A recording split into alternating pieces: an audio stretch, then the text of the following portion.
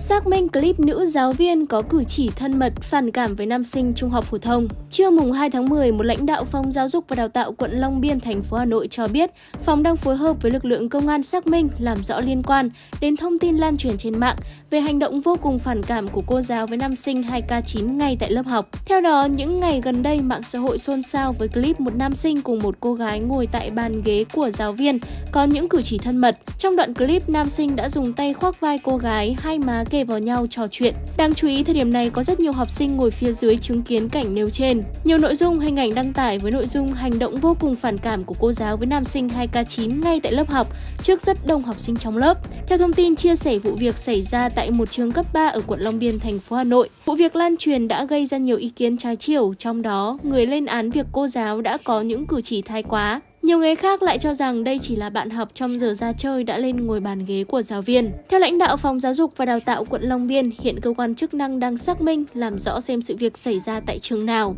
Lãnh đạo này cũng cho biết nội dung clip thì xác định đây là trường trung học phổ thông chứ không phải trung học cơ sở.